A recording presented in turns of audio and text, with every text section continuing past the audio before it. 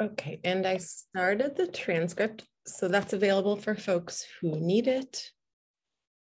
Welcome, welcome everyone. Let's see, I think I'll get started. Folks will probably still be filtering in and that is okay. And as always, I don't wanna take tons of time away from the presenters. Um, so Sorry, I'm letting people in. Tracy, do you mind letting folks in while I, okay, thank you. Thumbs up from Tracy. Thank you so much. Okay, I am Katie Dichter. You probably have seen or met me before. I'm a full-time librarian at Seattle Central.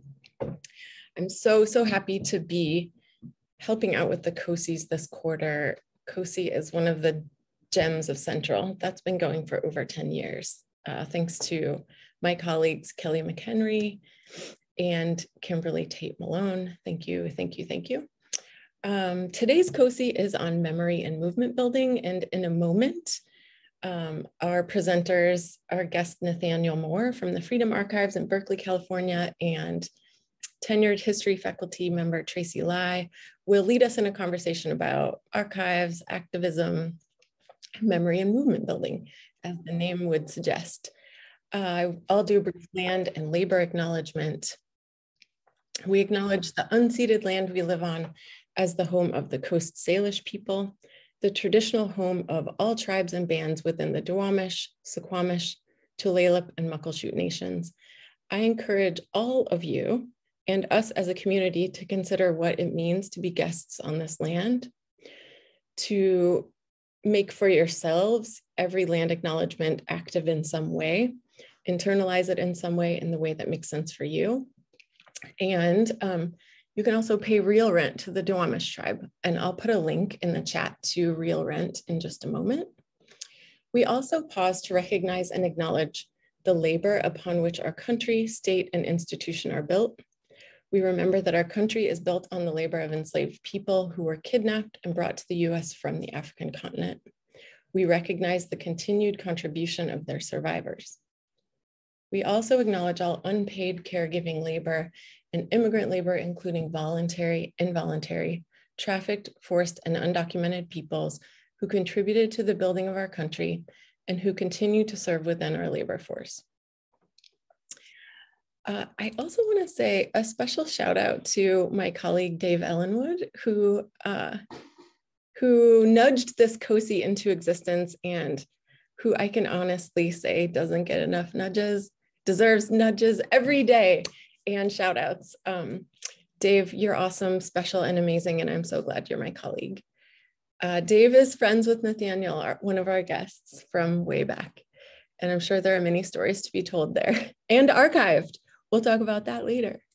Uh, okay, so um, maybe a little bit more about Nathaniel and Tracy. I said some, but Nathaniel Moore is an archivist and co-director at the Freedom Archives in Berkeley, California. We'll hear more about his work and what's happening down there.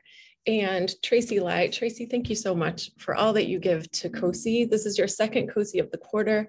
I feel so appreciative for your knowledge and wisdom and what you bring to the college and the community. So I will turn it over to both of you, put some links in the chat and just be an active listener. Thank you.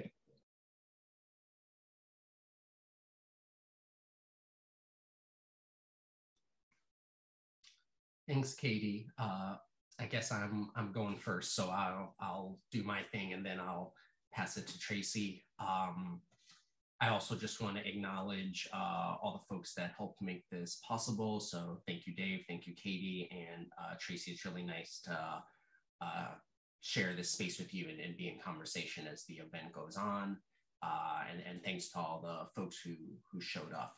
Um, so I'll I'll go ahead and just kind of generally introduce myself uh, very quickly again, and then uh, I'm gonna start a PowerPoint to um, talk a little bit about our topic today, which is uh, memory and movement building, uh, which I'm uh, happy to be here uh, representing the Freedom Archives and talk about. so as, as Katie mentioned, I'm Nathaniel. I'm an archivist and co-director at the Freedom Archives. Uh, and today I'm going to talk a little bit about some of the work we did around uh, a documentary called Symbols of Resistance and the subsequent uh, activism of students on the C Boulder campus to uh, memorialize the uh, uh, efforts and, and deaths of uh, six student activists in the 1970s. And I'll explain a little bit how our work helped serve as a catalyst for some of that. And then we'll, we'll relate that to, you know, some of the um, stories and uh, moments that you may be talking about here in uh, Seattle and at Seattle Central. So give me a second here. I'll go ahead and share my screen.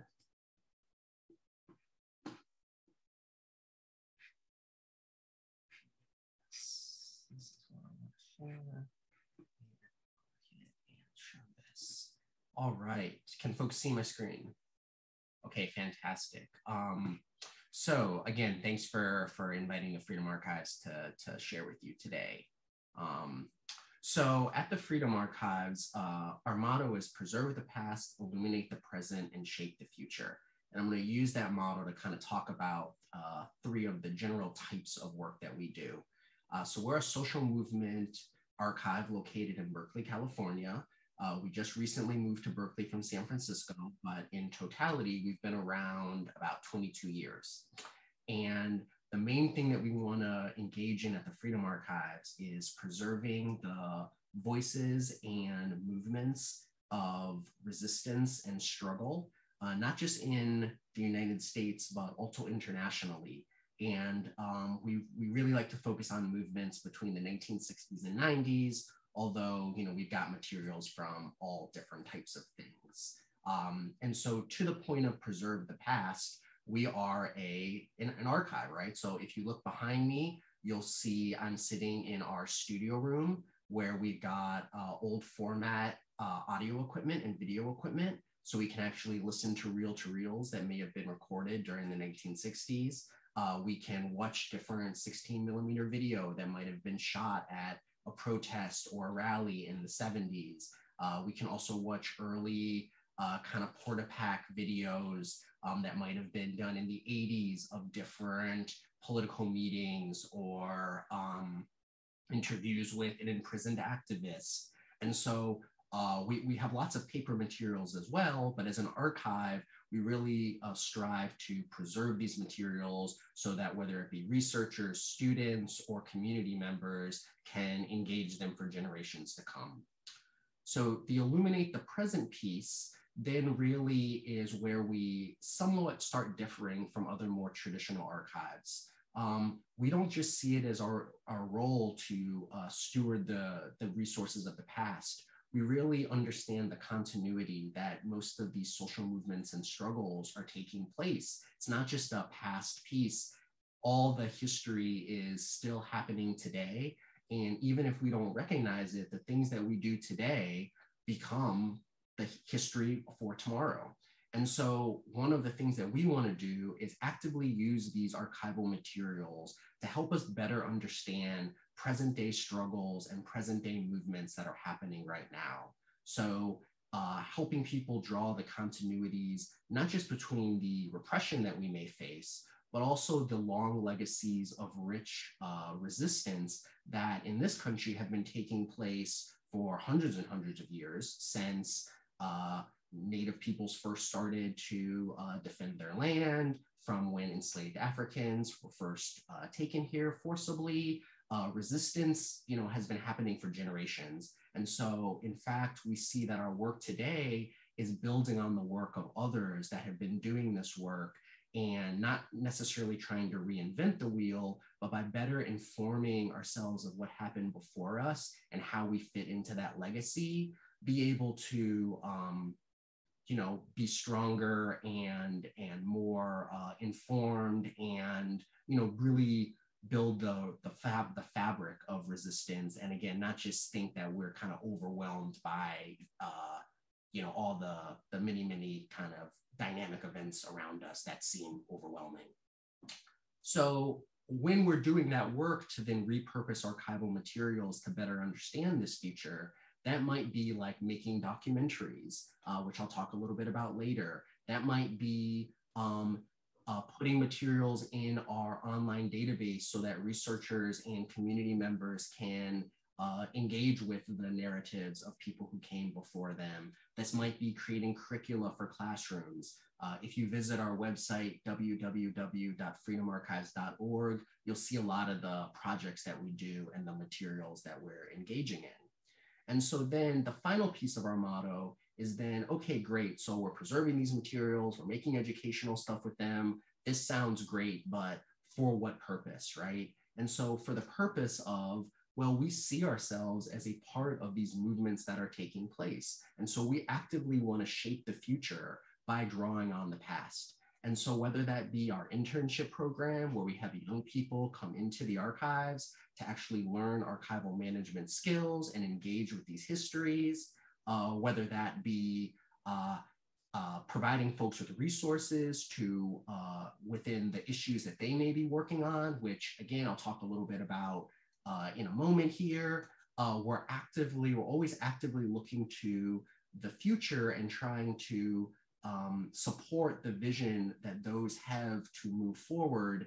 Again, because we see ourselves as a part of movements and a part of this legacy of resistance and not just solely based in preserving historical materials.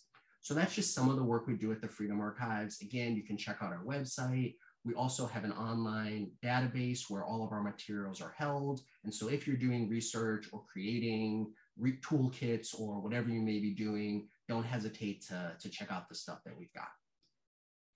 So what I want to do right now is momentarily move away from the Freedom Archives and the work we're doing and talk about a historical event that we will then intersect with uh, 40 years after it actually happened.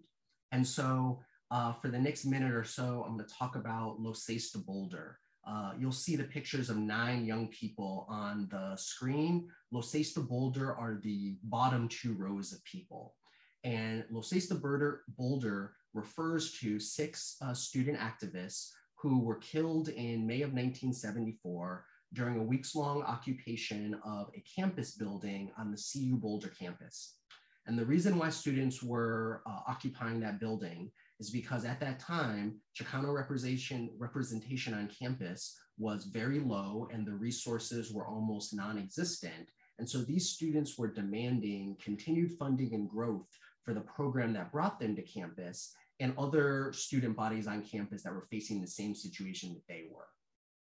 And so they occupied this student building with their demands for a number of weeks and the university really wasn't paying much attention to them and just kind of let them occupy the building.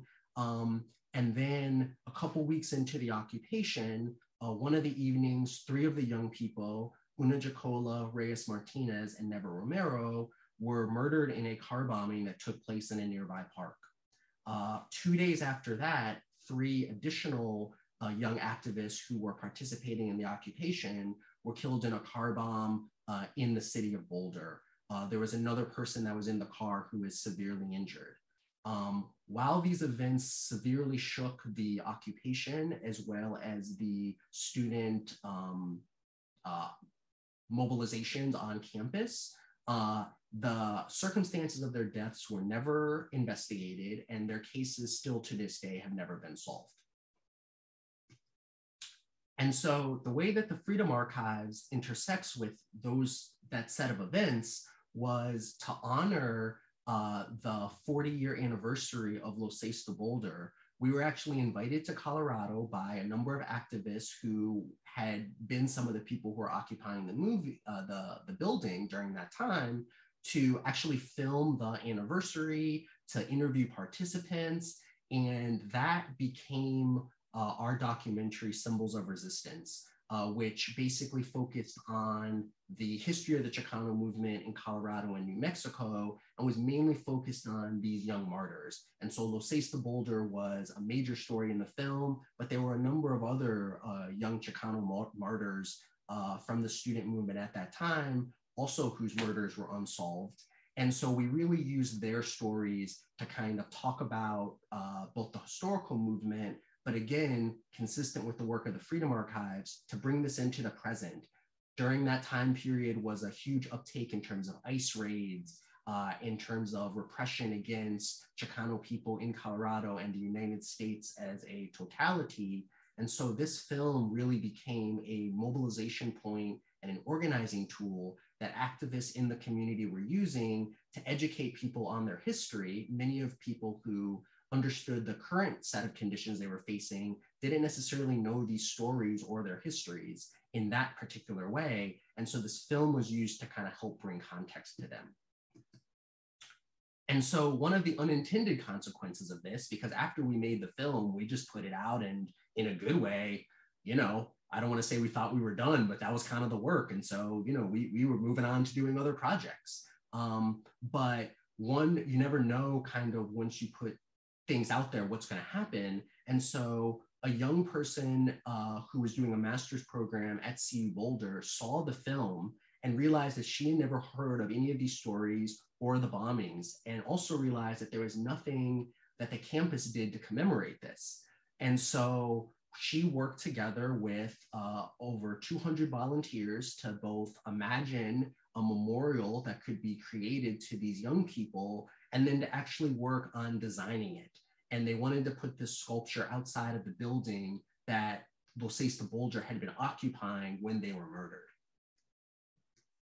And so the person who was a, a, huge influence and designer of this project, Jasmine Betts, she's pictured, uh, you can see her on the screen. So, and here's also a picture of her working with um, many of the community members. And this work took place over many years. I believe it started in 2019 and, or maybe 2018 and was finally finished in 2020 where now you can see what the sculptures look like. And so they're tile mosaics of the six martyrs along with some words to honor them and their names and talking a little bit about some of their contributions beyond uh, you know just being murdered because even though their lives were taken from them at a young age already they were contributing so much to their communities here's uh, another picture of this and along you can see each particular mosaic face you can see this i'll share the link so that people can see this page later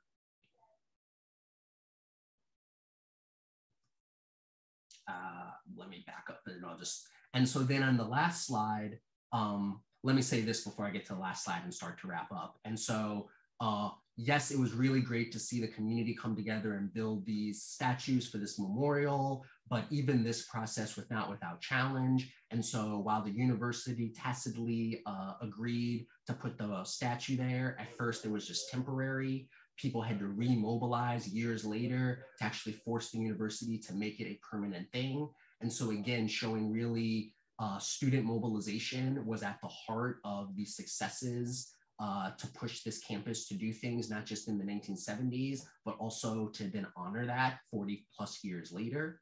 Um, this really was a community product. So even though the Freedom Archives helped to create a material that was certainly foundational in catalyzing this project, this project is not our project. It's the project of the community and the people who worked on it. So again, it's more of the power of archives to activate as opposed to um, us doing something so great one way or the other. Um, so that's kind of the, the two second presentation. I can say more later during the discussion, uh, but if you want to learn more, uh, and I'll provide these links so that COSI can send them out, but we have a project page. You can also take a look at our website. And then very, in a very cool way, uh, your library has symbols of resistance at the library. And so if folks actually want to watch the documentary, y'all can definitely just get it out from your library and engage it. Uh, so thank you very, very much. And I'm going to go ahead and throw it to, uh, to Tracy. I guess I'll stop sharing my screen. Wow, Nathaniel that is amazing. And it makes me feel really good about working in the field of history. um, I'm going to take a turn with sharing screen. Make sure that all works. And um, I am thinking about so many things right now. Um, what one of the things is um, One of the things is um, maybe just taking, making a connection to uh, what happened with these students reclaiming space on their college campus. And to me, that is a connection with the campaign to save the Tsutakawa fountain. Um, there's a connection with symbols of resistance, and there is certainly a connection with memory and memorial and and who is telling the story who is telling that story. And katie when you talked about um, and mentioned kelly mchenry we need to document the history of COSI because it is a symbol of resistance in that and there will be in common a singular president, a former president, okay, which I will get to, president of Seattle Central. but the connection is that one of the catalysts for conversations on social issues was the refusal and the denial to continue what had been a very important program for faculty called the Global Education Design Team. GEDT. And it was a small budget, but 10,000 still sounds like kind of a lot to me. I don't know about you. Maybe I'm not looking big enough, but it was a small fund which faculty organized um, programs to do global education design, connect with community, and so on. And when the program did not go forward under then President Paul Kilpatrick, there I said his name. well, then the librarian said, We have to still have something. We may not have a budget, but we will create a space. And what a space COSI has been. So thank you, librarian team. Thank you, all the classes, students, people who have come and contributed either in speaking or just soaking it up so here we are and and now we're thinking about freedom archives the power to tell our own stories and to do what needs to be done. So i would like to share a little bit about um, one of the many social justice struggles within the college. Oh my goodness there are some going on right now but that will be in a different COSI i'm sure and um, oh my gosh, is this Tina Young? I hope so. I mentioned to some of my compatriots uh, that I would have a chance to reflect on this campaign to save the Tsutakawa fountain. And um, oh, and I got to remove myself so you can actually see the image of the fountain. And Tina Young, if you are there, I do hope you will chime in with me. Um, Melanie King, Ken Matsudara, I could go on with a list of other people, but y'all were holding it together and all of our organizing together, along with many students, too many to name, is what means the fountain is still here. And so you're looking at an image, and it's actually taken on a day when we were marking um, Japanese American Remembrance Day. Um, my next slide says a little bit more about that, or a later slide does. But um, each of those candles represents one of the uh, approximately 200 Japanese American students who were essentially expelled from Broadway High School, which is the site of, that's why we call the Broadway Edison building. That high school became the foundation of Seattle Central College.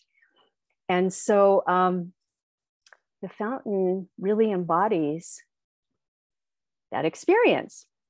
So, just to share a little bit about the artist, the sculptor, George Tsutakawa, I'm going to read a little bit, just a little bit, from a flyer we developed that we called Why Do We Need to Save the George Tsutakawa Fountain? Okay, so uh, George was a student at Broadway High School, and his art was first recognized when he was a student. He won first prize in a student work art competition sponsored by Scholastic Magazine, a national publication. And it was at Broadway High where he became friends with Andrew Chin and Morris Graves, who later also became highly acclaimed artists.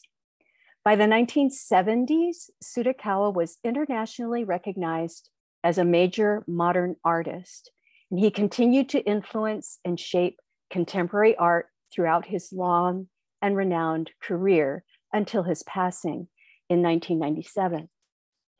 In 1973, Tsutakawa honored Seattle Central Community College with this fountain, one of only 70 fountain works that the artist produced worldwide and the only one installed at a community college.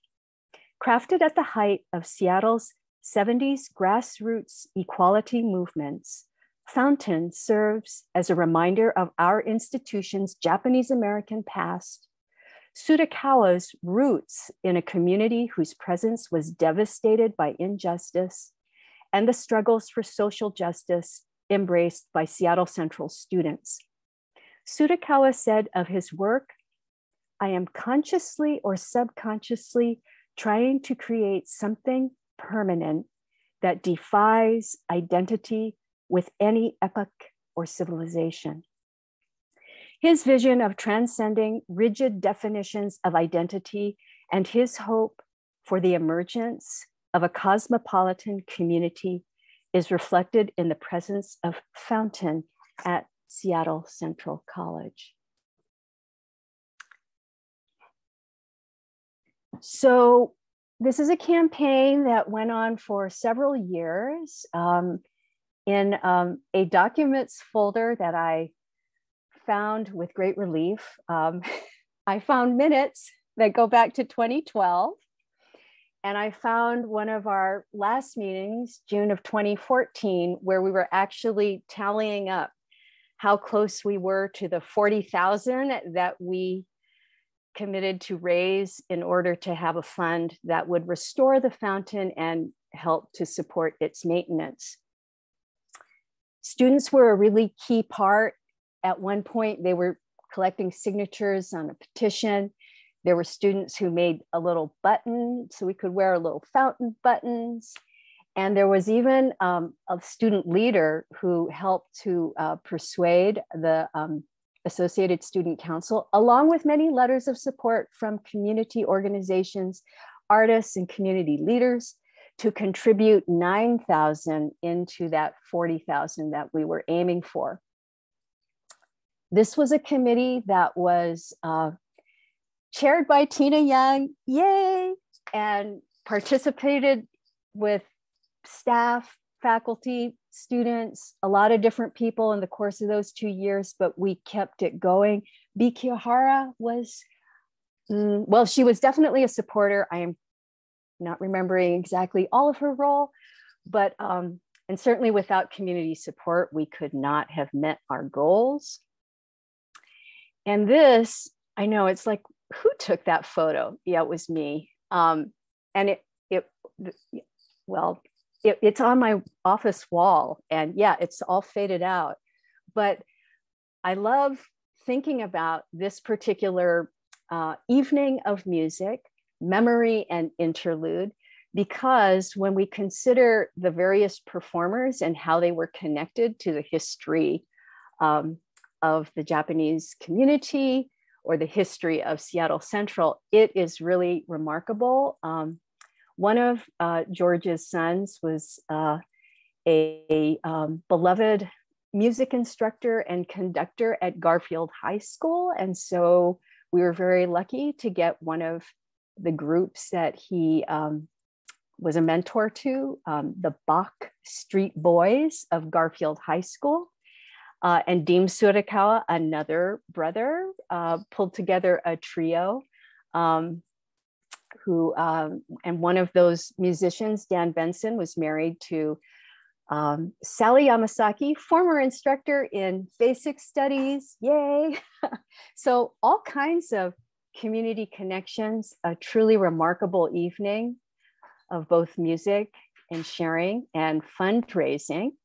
And then, gosh, can I make this move out of the way? No, I just can put it more in the way. Um, so I wanted every all of us to look at this extraordinary symbol. It's continued to be used in many days of remembrances. Um, the designer, artist Frank Fujii was a former employee at Seattle Central. And when I first started teaching as an adjunct, he greeted me, um, took me out to coffee, sat me down to just help me get a little bit oriented. And he told me, Well, I'm the affirmative action officer. Wow. So we are talking history. In that symbol, he incorporated the um, uh, Japanese um, calligraphy for first, second, and third generation, Issei, Nisei, Sansei. And then we see the barbed wire that intertwines closely. Um, and, um, and I think that's for, we can interpret that in so many ways the intergenerational trauma, um, the barbed wire of that injustice and that experience of incarceration um, and imprisonment um, and the continuing struggle to learn from that history. So, thinking again about what Nathaniel shared on um, memories and the power of that remembrance. the president uh, back in of the college back in 2012 paul killpatrick was initially surprisingly disappointingly disinterested in this interest in restoring the fountain. And his first reaction in a meeting with that we held with him was, is this so expensive? And you know, it might just be better to sell it off. He wasn't interested in learning more about George Tsutakawa, why the fountain was donated to the college and seems singularly disconnected, very disconnected from the Asian community and communities of color. But in spite of the position that he initially took, the Fountain Committee just kept going on, and we were successful in raising our money, successful in scheduling a whole phase one, phase two, phase three, and so on to um, change out the pump and do cleaning, descaling, um, protecting that space. And it really was only possible because of reconnecting with the community and organizing um, with all of us. And I do want to make a comparison to the recent other organizing that prevented the closure of the four professional and technical programs. So I'll just finish my part by posing us a couple of questions. I hope y'all have some ideas. How are we going to archive the social justice struggles that have been, they're embedded, they're part of who, who Seattle Central is.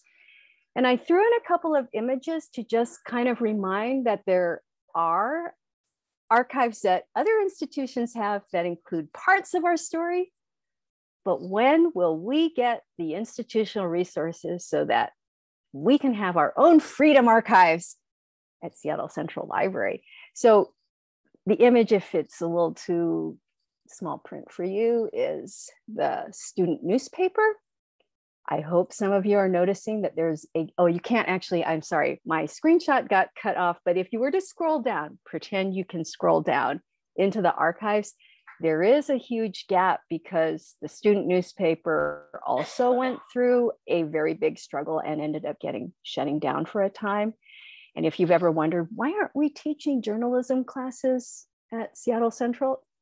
It's connected to that struggle and then um, this tiny screenshot, University of Washington has a um, World Trade Organization history project, the WTO history project.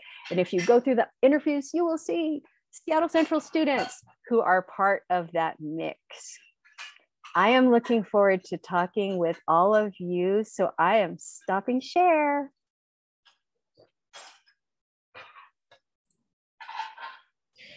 So now is the time, y'all, to um, turn the COSI into a conversation. The C in COSI stands for conversation.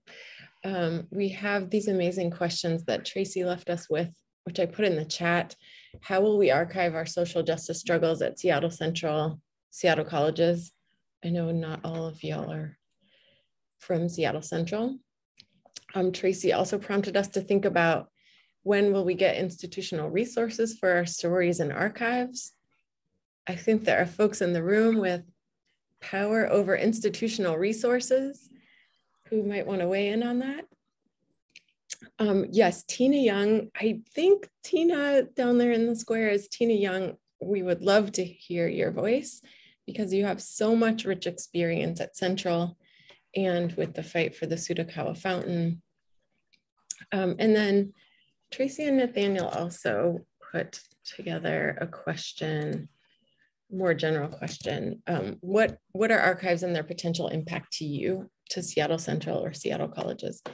So feel free to respond to any question if you feel so moved um, or ask a question. You can put your little Zoom hand up or type stack in the chat. Would love to hear from you.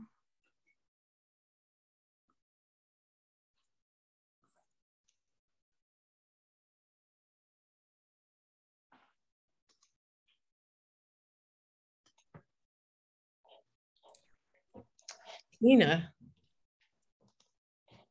Hey, I'm gonna uh, start my video. Hi, everyone, to the folks that I do know. Um, thanks, Tracy, for, for sending me this. Hi, Katie. Hey, I, I see people's names. Um, I've already exchanged with Zola. So um, I just want to say thank you so much for, for doing this. I'm sorry that I missed the first half. I, I was trying to get home as quickly as possible. I'm going to um, move to a space that's kind of scary. And I figure at this point, since I'm retired from the Seattle colleges, I can pretty much say whatever the heck I want to say. And so, whatever you all want to do with it, you can do with it. I have no one that I report to, no president, no vice president who's going to say, Oh, Tina, what the heck are you saying now? Um, I think that it's really incredibly important, not only say for my dear sister friend Tracy Lyon, myself and the things that we have engaged in, because I was saying to her, yeah, remember the lab school, remember the daycare center, remember the struggles that we had trying to save um, childcare for, for students and also for us as staff and faculty, but also the importance of childcare on site and the struggles, the institutional struggles that we met with. I mean, things like that, up to the Tsutakawa fountain, up to the recent attempts to close school. My my voice is really, and I think I said this to Tracy, I think it's all about real estate I think that Seattle Central, the main building, is sitting on amazing real estate. I think Wood Technology is sitting on amazing real estate. Marine Tech is sitting on waterfront. Th- this is a city that's in rapid, rapid economic transition, and not necessarily for the people who have lived here for such a long time. Um, and and i think the archiving and the the, the collection of of individual and group memory and institutional memory is so important to also counter some of those potential future forces at work, or maybe they're being un- put under consideration right now um, in terms of long term plans. When I say real estate, you know, I'm talking about the sale of this valuable real estate for apartment buildings that can house lots of people.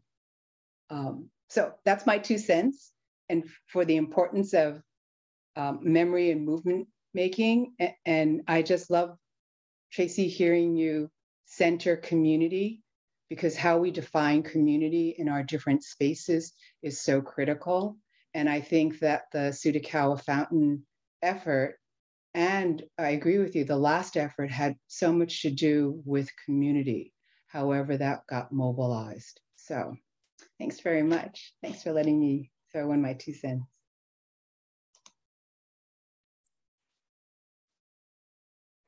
Thank you so much, Tina. I want to read what Michaela wrote in the chat.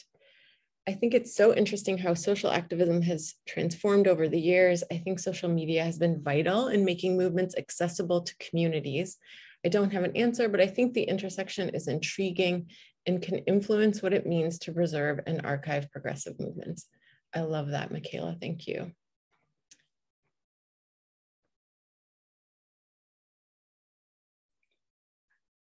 Hey, Katie, as a as a panelist, can I pose a question to, to Nathaniel? Of course.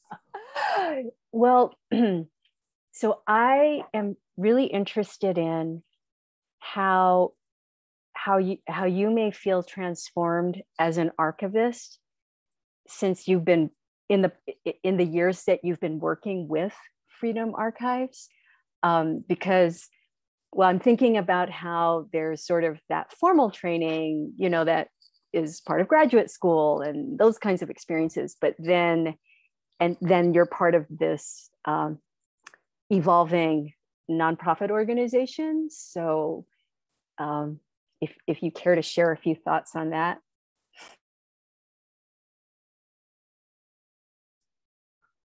Thanks. That's a that's a very interesting question where I'm gonna, I both am sure I have tons to say and also would not struggle to come up with one or two things. But I think part of when I'm,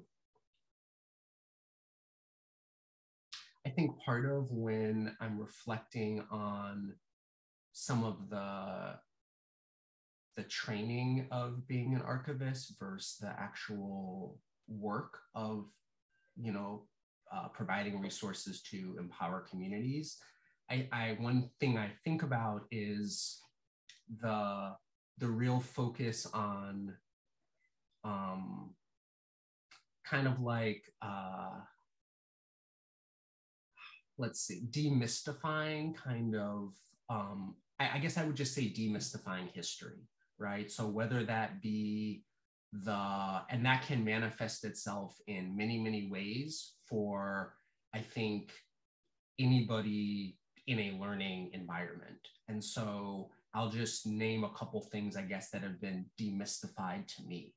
Um, so i think first you know the moving away i guess the first one i would highlight is as much of an emphasis on unlearning as on learning and so I think that in so many learning environments, whether they be classrooms or archives or library spaces, there's a focus on acquiring some set of facts one way or the other. And that with the acquisition of said facts, you'll be better uh, positioned to accomplish whatever the goal is.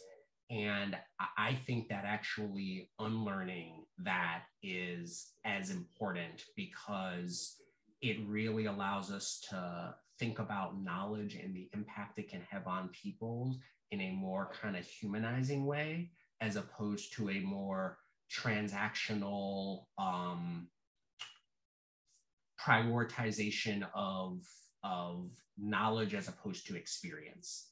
And so uh, one example that I think about is uh, in terms of movement making, uh, people who are locked inside of prisons who don't really have as robust of a public voice, if any public voice at all, uh, you know, the the knowledge that they in fact are the struggles that they engage in are as impactful to setting the standards for movements on the outside as is movements on the outside responsible for transforming conditions inside or the idea that the rank and file of the Black Panther Party who were providing childcare and free food were as impactful as transforming society as Huey Newton and Angela Davis, just as random name examples. Um, so I'd say unlearning is key. The other thing that I would say is um, really focusing on human perspective and experience and the way that that can uh, encourage our learnings.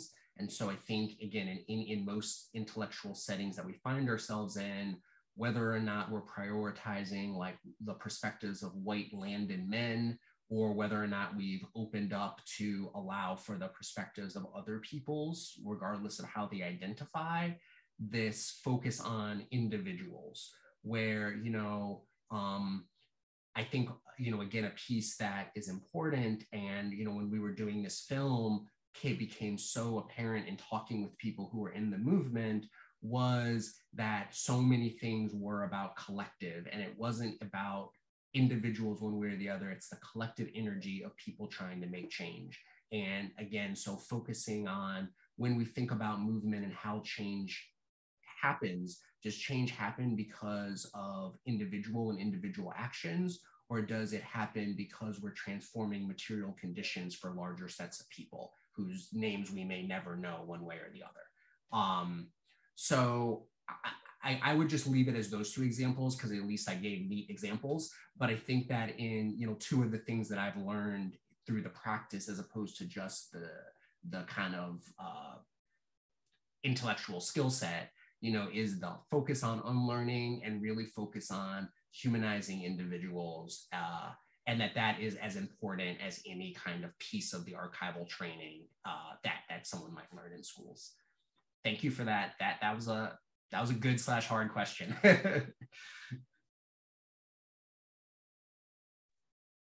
okay, I just have to urge all my colleagues. This is why, this is so why when we're doing library workshops and research methods and all of that. So just just point everybody to Freedom Archives, freedomarchives.org. but but really what Nathaniel talked about because I think um, I, I've had far too many students who are just they come to class and the first thing is kind of a yawn you know and a lot of that yawning the boredom is because the lack of humanized humanization of knowledge and individuals and experiences and you know the efforts for collective change the narrative, that dominant narrative, just pretty much sucks the life out of, you know, what they're looking at. And they just are like, ho hum, how, how do I pass? And I just, it's like, no, no, no, no, this is your story too. But but they need convincing and they need to be able to see it. So Freedom Archives.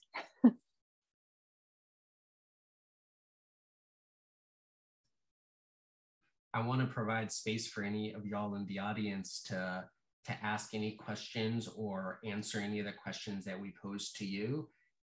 And if if you do, that would be preferred. And if you don't, I'm gonna have to think about a question to ask Tracy. So if nothing else, y'all could help me out. Um, so I'm, I'm gonna sit here for a second and then uh, and leave it to y'all. And if not, I'll I'll say something.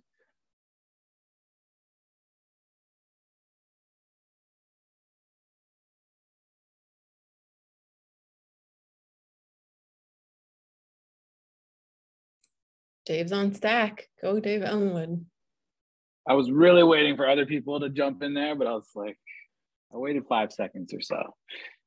Please, other folks jump in too. But one of the themes is more of a comment, but maybe something you all could build on if you want. But one of the themes I really noticed across both of your uh, sections was this sort of um, theme of folks at the top of an institution trying to brush past or ignore or uh, underfund or um, uh, hide maybe uh, certain cultural moments important movement moments and that tension with just the everyday folks who um, make up the the institution pushing back and saying no this is actually what's important to us and you know, I think we're seeing this now. One of the, the, ways I've heard a lot of faculty talk about the single accreditation struggle that's happening right now is we're getting rid of the rich cultural curriculum that has been at Central for decades and decades uh, to have some um, singular curriculum that could that, that students could experience anywhere, right? Instead of something that's really rooted in in, um, in, on our campuses and that this these pushes come from the top and not from uh, the people teaching this so it's just a tension that i was noticing in both and I, I, appreciate both of you highlighting the the um, the resistance and the vision that comes from just folks trying to make sure that they do justice to uh, the the history of their institution and their community um, in a in a wide range of ways. So I don't know if you want to speak to that tension or we can just leave it at that, but and maybe other folks may have questions. I'd love to hear from Michaela, who has stack. Oh, mine was a little like slightly different, but Dave, thank you for your comment because it kind of led me to, but it, it is separate. So I want to give the panelists an opportunity to respond to that comment question. We'll, we'll get Dave at the end. Why don't you go ahead? Okay.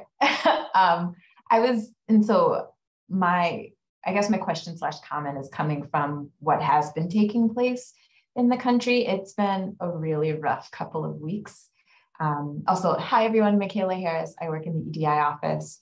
And so I've been, I do feel responsibility to stay on top of current events. And, you know, there are a lot of events to stay current on, unfortunately.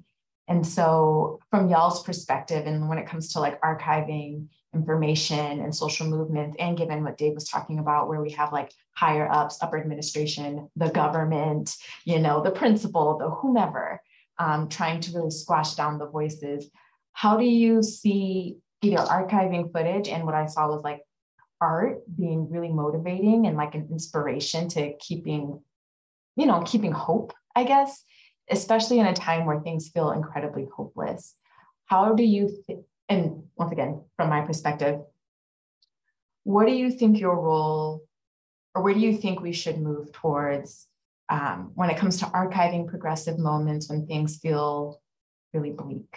What is the role of archiving this information? What is the role of art archival um, during these times? And I know that might be more of a personal thing, but you can relate it to either the work that you're doing or kind of how you feel about that in general.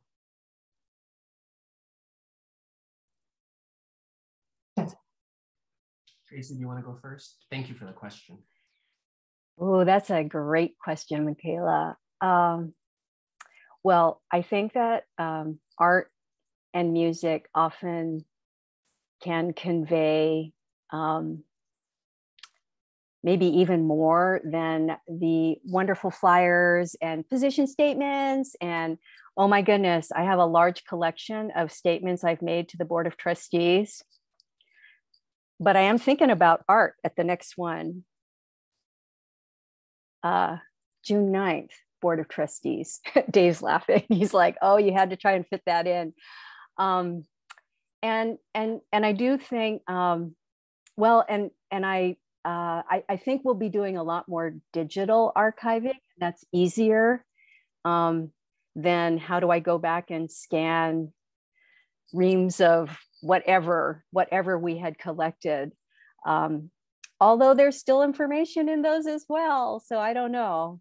Uh, I don't know what will happen to some of those older forms of, of types of records. Um, but I think that um, that can be an important kind of continuity um, with um, next generation, um, you know, and not, not, I mean, I think it's actually in any given mo- movement, there's kind of more of a continuum, new people coming in, kind of intergenerational in the sense that some people who are in that movement may have kind of a continuous thread, you know, that goes pretty far back. Um, and so I think that um, art and music can help to um, express and, and keep those kinds of connections. Nathaniel? I would agree with that. And um, I also think people can engage with art and music no matter what their, I don't want to say pre existing political knowledge, but like you can feel the impact of art and music, whether you might be an expert on a particular event or first engaging a particular event. And so I think that's also why it has such a intense ability to move people um, the one piece I would say about the kind of the news piece um, and you know, obviously, as I, I clearly, uh, whether or not I literally feel the same way as you do or not, I obviously can easily understand where you are coming from as someone who also engages the world and certainly to all the things you're saying. Um, so uh, definitely, uh, I think that I think about two things. Uh, the first thing I think about is there's what events are happening, which might be depressing or challenging, right, and overwhelming. But then there's the how they're being talked about. And I think that how they're being talked about is hopeless for a reason because po- the power structures that convey the news want us to think that not that there's nothing we can do about it but they want us to feel powerless because when you feel powerless you you are less apt to act. And if you feel like oh if, if we just do this and this and this we, we might be able to solve this challenge it's a whole different way of engaging. So i don't think that there's a so i think that there's a connection between the way in which things get framed and the way in which we think of we think about how our position related to that is. The other piece I would say is while it's hard to be optimistic, the before the Cuban Revolution, if you had asked a Cuban, would they ever have free healthcare and education, you know, they would probably say no. If you would talk to a Vietnamese person before they defeated the US empire, the idea that they would defeat the US empire would be impossible. Or if you would talk to an enslaved African on a plantation in the United States, the idea that we would be free would seem impossible, right? And yet all of those things became possible. And so I also think that that's where partially the rootedness in the past is important, not because, oh, the past has all the answers, but that when you know that in fact struggles that seemed impossible are in fact possible, it totally revolutionizes the way in which you see your potential in the world one way or the other.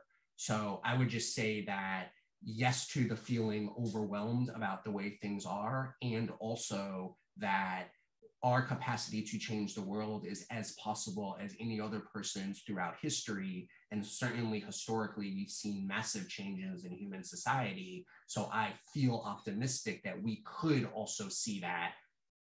What that looks like, I do not know. uh, but you know, I, I, feel optimistic that that could happen. Um, that that's a really I appreciate that question. Thanks for raising that.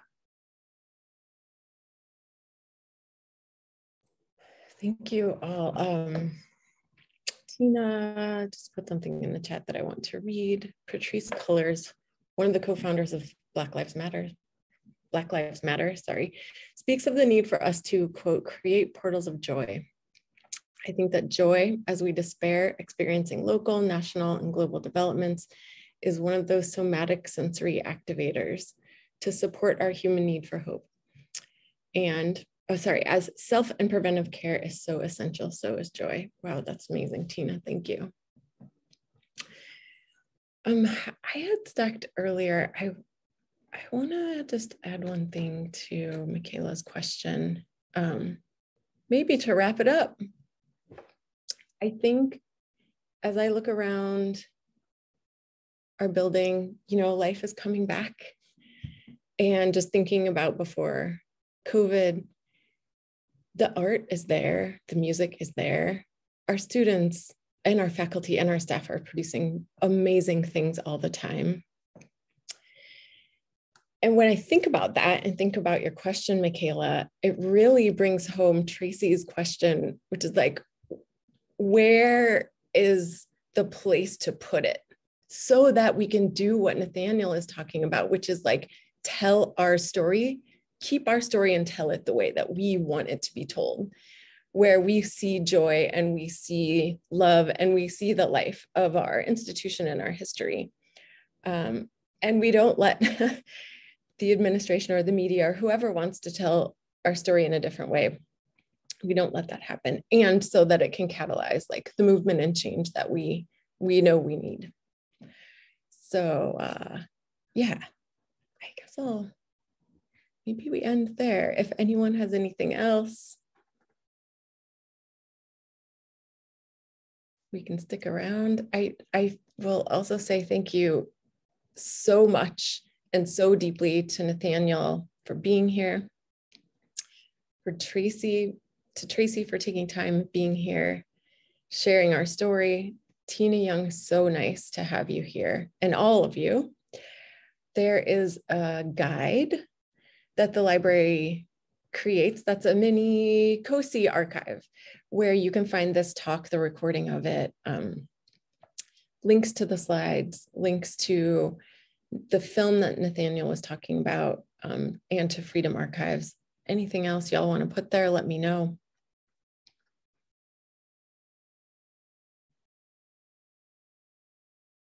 And I'll stop talking. Yes, absolutely, Tina. I can send you a link to the recording.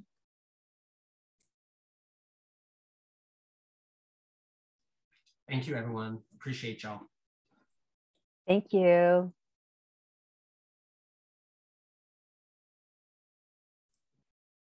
Okay, I'm going to push the red button, everyone. Wait, wait, wait, Nathaniel, I'm really sorry that I missed your presentation. I was trying to get home as soon as quick as I could because, um, you know, Tracy says, oh, log on to this, you know, at the last minute. I'm going, oh, oh, but thanks so much. I, I, I